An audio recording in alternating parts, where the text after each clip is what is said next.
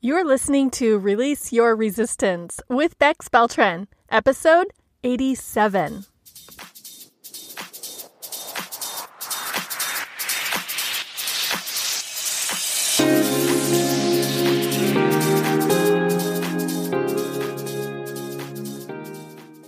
Welcome to Release Your Resistance. This is Bex.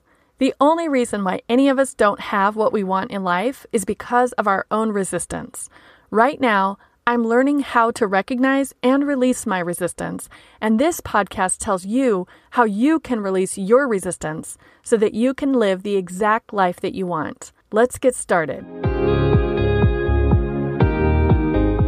For the month of September, I want to talk with you about getting unstuck. We've all heard this expression. Maybe we use the expressions, I'm stuck, or I'm stuck in a rut, or I feel so stuck.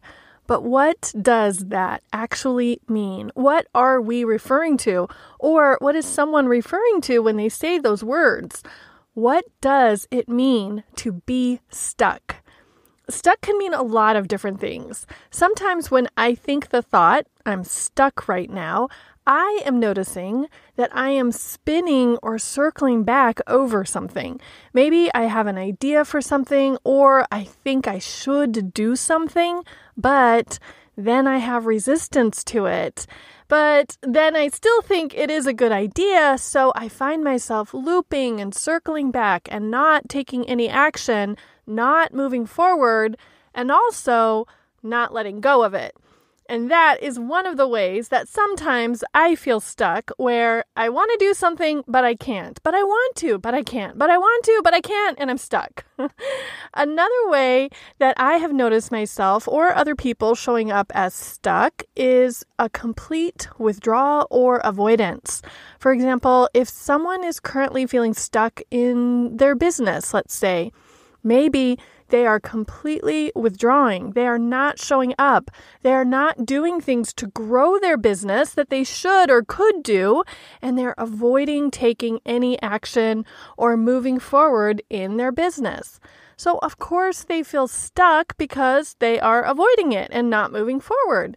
They are withdrawing instead of advancing, and they're not doing anything and they're not trying anything. And it becomes a self fulfilling prophecy when they feel stuck. And that lethargy actually increases, if this is even possible, the stuckness. Another way feeling stuck might show up for someone is that it feels too hard to change.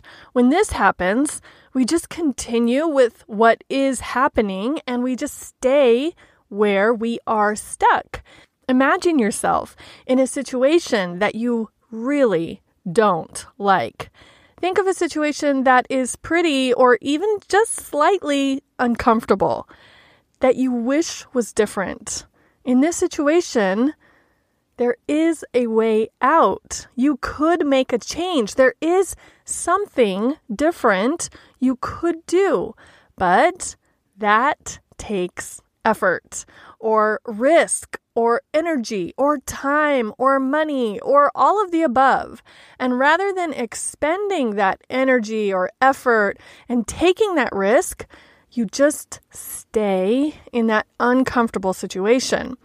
For me, this last example Resistance to change, even for the better, is the biggest example of being stuck.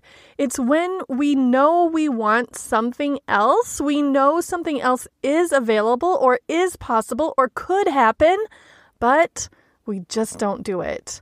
We do not step out of our stuck position because we are familiar with our current discomfort.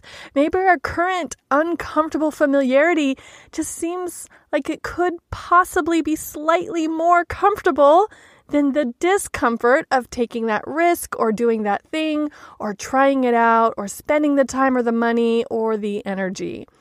Have you identified a way that you have felt stuck or maybe currently are feeling stuck?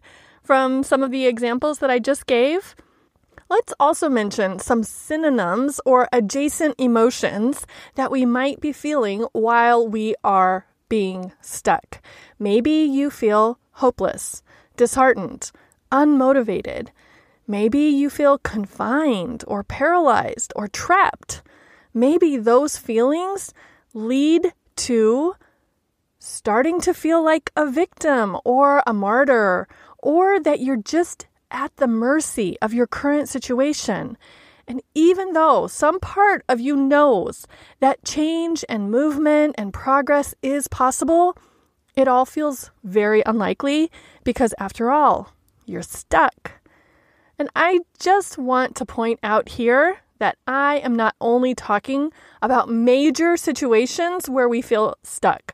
A major situation might be if you're feeling stuck in a career or in a relationship or not knowing your life's purpose or not knowing where to go or what to do next. But we can also feel stuck in minor areas. Someone could feel stuck about what to do about a current decision, or what to focus on this week, or what to choose as a topic for a podcast episode. Maybe in the big picture, you might be feeling stuck about seemingly inconsequential things, but that is still feeling stuck. And that can still be a drain on your energy and your motivation and your confidence. And feeling stuck is not mandatory. For the month of September, I really want to talk about how to get unstuck. If you are feeling stuck in a major or minor area of your life, you don't just have to stay stuck. There are things that you can do. There are things that you can try. There are different thoughts that you can think that can help you to get unstuck and take a little tiny step in a direction, or maybe take a huge major leap in that direction. When I was trying to think about how I have felt stuck in the past. The example that immediately came to mind was the one that I talked about in my transformation episode at the beginning of August. I noticed that I felt stuck when I was identifying as lost and purposeless. I was waiting for something, I was waiting for it, and I expected it to come and find me.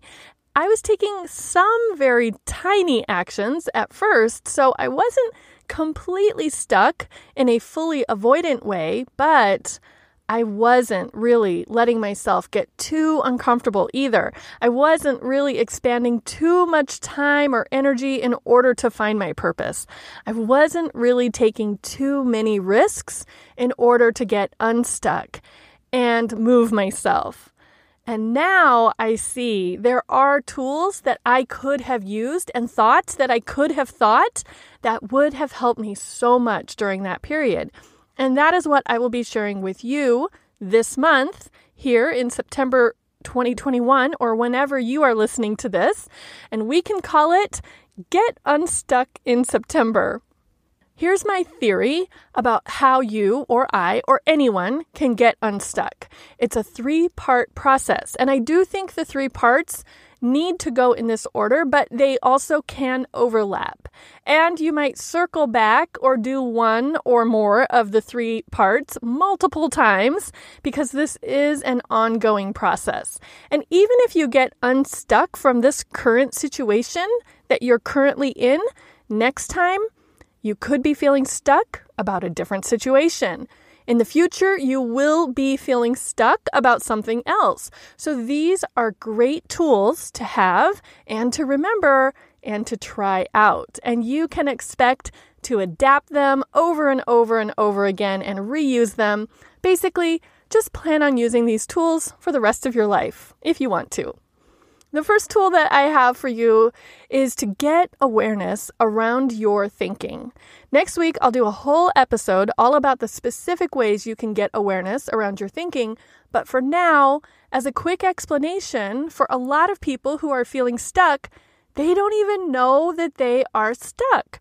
They say the words or they think the thought, I'm stuck, I'm feeling very stuck, I just feel like I'm in a rut, but they don't even realize that is a thought. They don't have the awareness that it is just a sentence that they are thinking. They are not literally standing in a rut or in a bucket of glue. they are not literally stuck. It's a thought that they are thinking about their current situation. And that is the first tool to get that awareness. You could ask yourself, what is making you feel stuck? What are you thinking that's causing that stuck feeling? We'll get more into depth on how to get awareness next week, but for now, just know getting awareness is the first tool. The second tool is to check your thoughts against your results. And this tool is going to be the episode topic two weeks from now, and I will give you some more specific real life examples about how you can check your thoughts against your results. But for now, when I say results, I mean two different types of results. You can check the results that you want and you don't yet have. That would be like the destination that you can see from your stuck point. Seeing that destination or that result and not being there yet might even be contributing to the reason that you are thinking that you are stuck. You don't want to be stuck. You want to be there over there instead. So that's one type of result. And the other type of result refers to the results that you already have that you do want. Yes, you might be feeling stuck right now, but in this current stuck position, there may be many things that you are actually very satisfied with and very grateful for. And I want you to check to see what thoughts got you those current results that you are currently enjoying and appreciating at the same time that you're also feeling stuck about another part of your overall situation. In mid September, we will have a whole episode dedicated to checking your thinking against the results that you have, as well as the results that you want.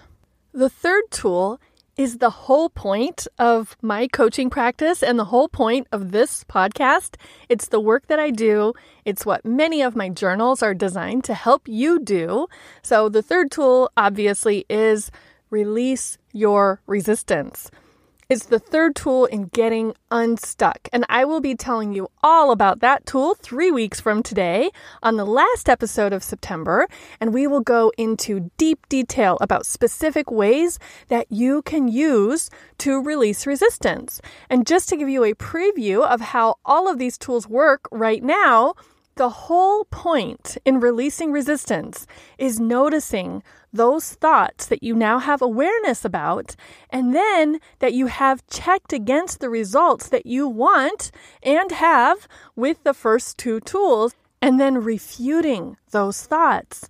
You let some of those thoughts go. You consider the alternative. Maybe you even allow yourself to have been wrong.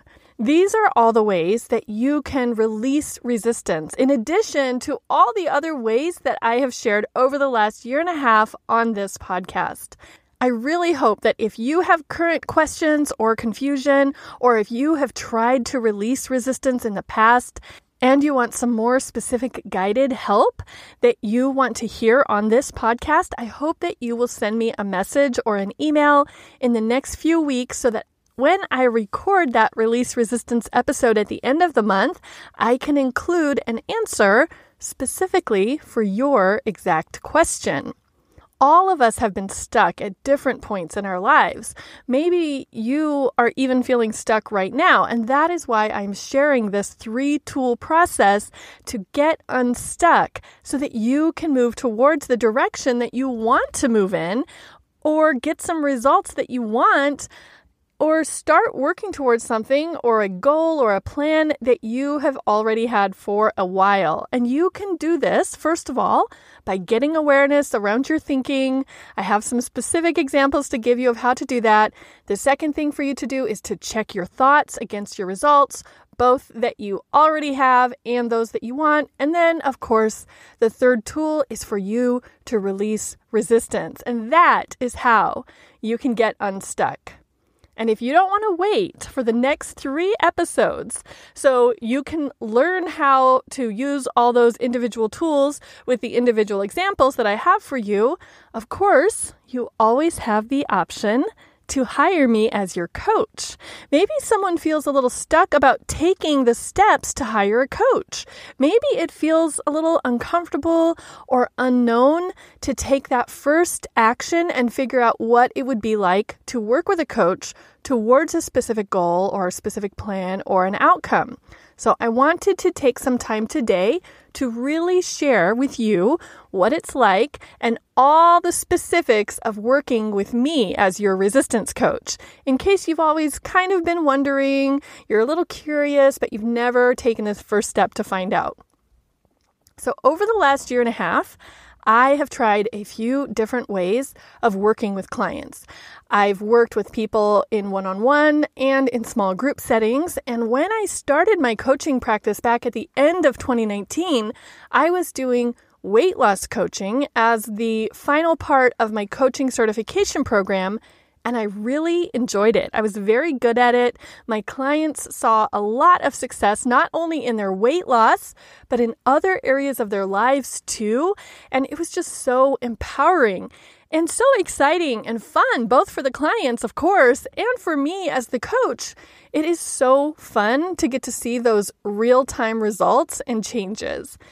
At that time, because I was focusing on weight loss coaching, I was offering a six week weekly coaching package.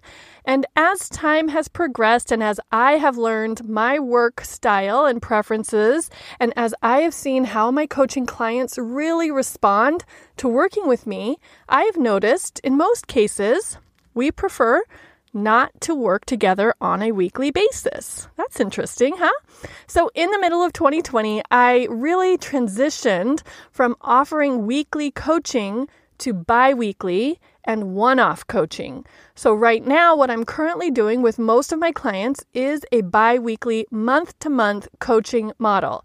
And if you were curious about how this could work for you, here's a way that you could do it.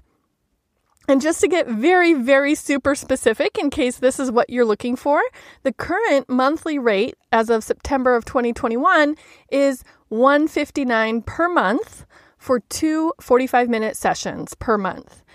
In fact, at the time of this recording, I am specifically looking to fill a coaching appointment on the second and fourth Wednesday of each month at 3:30 p.m. Arizona time.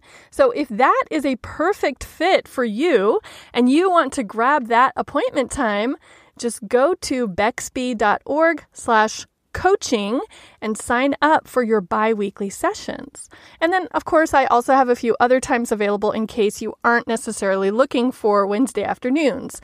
We can meet by phone, audio only if that's your choice, or on Zoom with our cameras on. It's totally up to you. Another option, if you want to see what coaching is like, is to book a consultation with me. This is a free call where we get on the phone or on Zoom. Again, it's your choice for about 45 minutes. And we can either go straight into coaching so you can get a feel for what it's like, or I can take you through a coaching exercise to show you some areas of your life and basically give you a consultation to recommend an area or a direction for our coaching. And I've gotten feedback from people who have taken me up on the consultation that it is life changing. Clients have shared that they hear insights from just that one conversation that they had not even considered before, and that then they can take action after just again that one initial conversation that they were hesitant or worried or scared or just resistant to take action on before. So, if you book a coaching consultation, at the end of that call, we will decide if we want to continue to work together or if that was just a one time thing. So, if we do decide that we want to continue working together, we can set your appointment up for either a one off appointment or you can start on the month to month subscription. My availability calendar is on my website at bexb.org. Look for the link in the top right corner that says Work with Me. And the calendar is just so easy to use and it connects to PayPal where you can enter your payment information. So either $99 for a one off session or $159 for a month to month plan, which you can cancel at any time before the next billing date. And I have found that running my coaching practice this way is a very low maintenance and very seamless and very easy way for my clients and for me. If you ever need to take a break, you would just let me know. I would pause or cancel the coaching appointments and the billing. And because it is month to month, there is no long term commitment for you or for me. And I have had clients who had coaching with me in the past, and then something changed in their life, so we stopped coaching together. And then later they decided that they wanted to come back and have a few more months of coaching. So that's just what I love about the open ended. You're not committed to anything for six months. It's not a weekly thing where the coaching appointment just comes around so quickly. We get so much done and achieved during those two sessions each month. Now, I'm curious to hear what about the coaching process with me have I left out and not described to you? What other questions do you have that I didn't touch upon? Or what other resistance might have kept you from working with a coach or working with me? And also, what else do you want to hear about getting unstuck? In the next three weeks, I will be diving much deeper into those three tools getting awareness around your thinking, checking your thoughts against your results, and releasing resistance. So, if you can think of questions, comments, concerns, curiosity that you have about those topics, make sure to send me an email at hi at bexb.org or leave me a comment in the show notes at bexb.org slash unstuck. So that's B E X B dot O R G slash U N S T U C K. Bexb.org slash unstuck. And let me know what you think should be included in those upcoming episodes. I cannot wait to hear your examples of feeling stuck and your questions about the three tools. Plus, I can't wait to find out who decides to take the first little step towards coaching, either with your first coaching session with me or in a coaching consult. And remember, next week we will be talking about the first tool, getting awareness around what you are thinking, which is, of course, my specialty as a coach. And I have so many ideas to share with you, either in a coaching session or on the episode. So let me know as soon as possible what questions you have so that I can include them in the episode. Thank you again for listening today. I hope you have a great week, and I will talk with you next Friday, if not sooner.